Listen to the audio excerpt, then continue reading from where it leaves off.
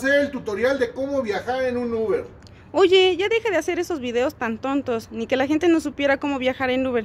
Y aparte, ¿por qué siempre criticas a Uber? Ah, es que tú no eres conductora de plataforma y no sabes que la gente está bien, pero bien. Mira, no quiero decir porque luego se ofenden, pero es que van en Didi y dicen que van en Uber. Van en InDrive y dicen que van en Uber. Van en un colectivo, aunque sea un Chevy o un Suru, y dicen que van en Uber. Entonces, por eso siempre menciono a Uber. Pero ahora vamos al tema del video. Paso número uno, antes de que te subas, lo primero que vas a hacer es un inventario de todas las porquerías que lleves. Audífonos, llaves, carteras, celulares. No sabes del sinfín de porquerías que nos dejan en el auto. Hasta chamacos nos han dejado olvidados. Entonces, primero haz un inventario de todas esas porquerías que llevas contigo. Porque si no, te vas a ver como menso publicando. Oigan, Oigan, ustedes conocen a este conductor. Es que me robó mi cartera, me robó mi celular. Yo le marqué a los cinco minutos de que me bajé, pero sí, cinco minutos mexicanos, ¿verdad? Que sabemos que son media hora, una hora. Y ya dicen, es que me robó. Bueno, ya que hiciste el inventario, entonces vamos a subir.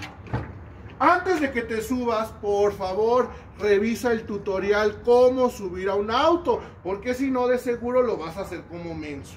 Ya que viste el tutorial, entonces ahora sí te puedes subir. Ves arriba del auto, no te desparrames todo en el asiento y dejes todas tus porquerías por todos lados. Sí, güey, yo te entiendo. Sé que en tu pajarera de Infonavit, pues haces esto porque no sabes dónde empieza la cocina y dónde termina la recámara. Pero, güey, no lo hagas también en el Uber porque se te van a olvidar y después vas a estar responsabilizando a terceras personas y el siguiente usuario se las puede llevar. Ahora, antes de descender del vehículo, vuelve a realizar un inventario de todas las porquerías que llevabas. Ahora sí que ya te diste cuenta que no te falta nada, puedes bajar, no sin antes llevarte tu basura, no seas cochino, güey, siempre dejas el auto bien sucio, así lo encontraste, pues no, llévate también esas porquerías.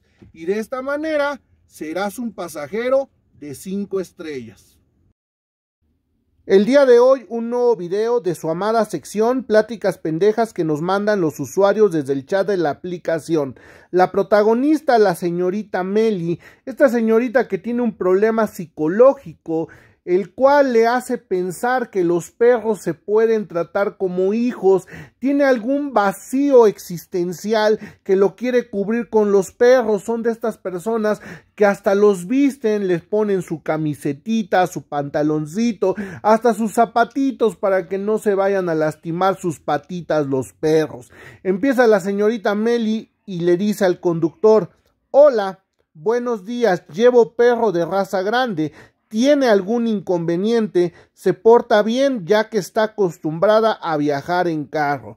Señorita Meli, ¿cómo no va a tener un inconveniente el conductor? Le va a llenar de pelos todo el asiento, pero desde que usted manda el mensaje sabe que está haciendo algo mal, solamente que se quiere encontrar algún conductor menso que esté dispuesto a transportarla, ¿verdad? Por eso dice que el perro está acostumbrado a viajar en carro, sí, porque me imagino que usted no tiene auto, no le alcanza y se agarra a cada conductor menso que le realiza su viaje.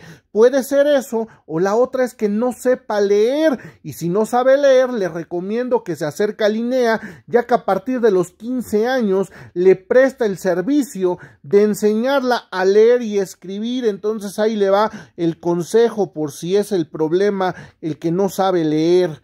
Y bueno, el conductor le dice, buen día, tiene transportadora, el conductor se porta amable. Obviamente, desde que le pregunta por la transportadora, es porque nosotros sabemos que estas personas les molesta que enviemos al perro en la cajuela.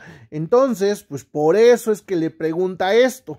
Evidentemente el conductor lo que quiere es quitarse del viaje, porque pues desde que vio que es un perro de raza grande, imagínense el tamaño de la transportadora, ¿verdad? Entonces solamente era para zafarse del viaje y a ver qué decía el cliente. Dice la señorita Meli, no, la transportadora no cabría en el carro, les digo, es que esta chica tiene algo mal en la cabeza, quiere que el perro viaje en el asiento de veras, ¿cómo cree que lo vamos a llevar así?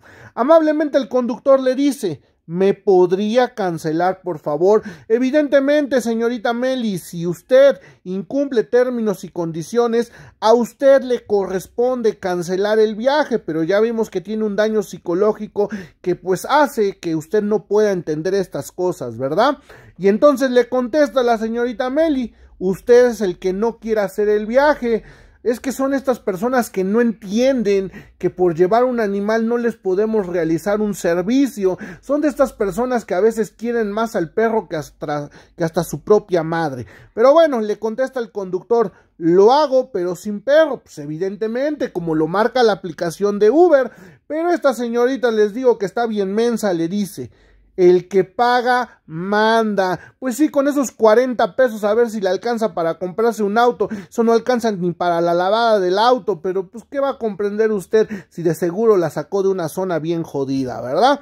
Y bueno, el conductor le dice, y no me estoy negando, lee las políticas de Uber, se permite con transportadora por sus 40 pesitos. Ya ven, parezco hasta divino. Sabía que su viaje era de 40 pesitos, pero...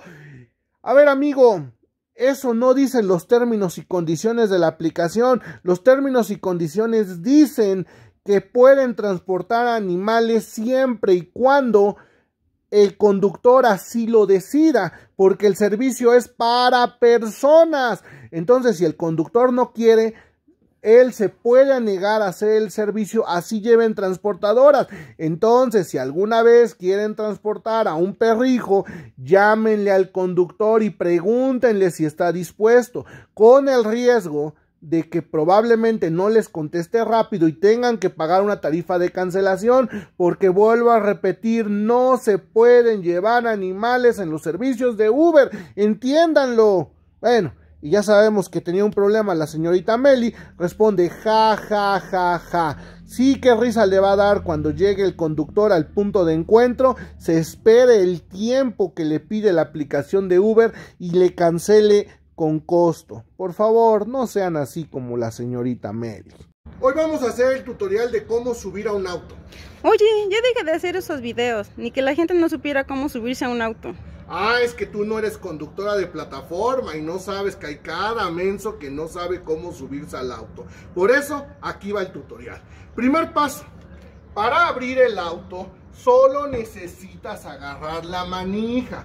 Vas a abrirla hasta donde dé despacito, no tienes por qué hacerle fuerte, ni tampoco tienes que estar tocando los cristales. Si ves que viene limpio, ¿por qué agarra los cristales? Ahora, ya nos vamos a subir. No te vayas a subir como menso, que agarras y empiezas a pisar las molduras y los plásticos. Así no.